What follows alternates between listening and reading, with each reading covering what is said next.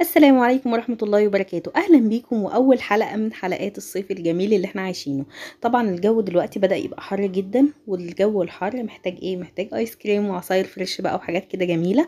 عشان كده النهاردة هعمل لكم ايس كريم الفراولة لذيذ جدا جدا بطريقة بسيطة ومكونين اتنين بس. يلا نبدأ بسم الله ونشوف هنعمله إزاي.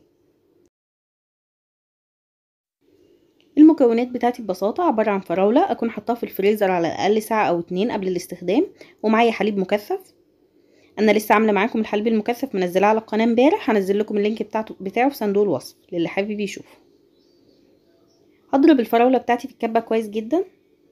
طبعا بدون ما أضيف لها أي سوائل. وهضيف عليها ربع الكمية من الحليب المكثف. يعني عندي 400 جرام من الفراولة عليهم 100 جرام من الحليب المكثف. ممكن تعمليه بالجرامات أو إنك تستخدمي بالكوباية بعد ما تضربي الفراولة عادي هي قد إيه بالظبط بس بعد ما تضربيها وحطي ربع الكمية حليب مكثف. حطيت الحليب المكثف وضربتهم كويس جدا مع بعض وبس كده خلاص. هحطهم بقى في علبة دلوقتي محكمة الغلق وأدخلهم الفريزر لمدة سبع أو 8 ساعات. في بقى خطوة اختيارية ممكن تعمليها أو ما تعمليهاش بس هي بتدي كده نعومة وقوام حلو جدا جدا للآيس كريم. وهي إن أنا بعد ما أدخله الفريزر بساعتين أطلعه وأحطه تاني في الكبة بتاعتي وأضربه ضربة كمان. يعني هو لو أنتوا زي ما أنتوا شايفين كده بدأ يجمد خلاص معايا في الفريزر. بقاله ساعتين في الفريزر بدأ يجمد. هحطه تاني في الكبة واضربه كويس جدا وبعد كده ارجعه العلبة تاني وهكمل بقى تجميد في الفريزر لحد ما يخلص المدة بتاعته حوالي 8 ساعات لحد ما يجمد معاكي خالص. وادي العلبة بتاعتي بعد ما قعدت 8 ساعات في الفريزر.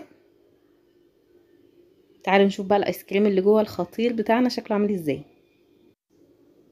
ادي الايس كريم بتاعنا شايفين شكله جميل جدا ولونه رائع شايفين القوام بتاعه مثالي جدا ممكن بقى تعمليه بنكهات كتيرة يعني ممكن تعمليه بأي فاكهة بقى مانجا أو أي فاكهة تانية انت حباها أو خوخ أو كده عادي براحتك خالص بنفس المكونات ونفس المقادير تقدري تعملي أي أي آيس كريم انت عايزاه.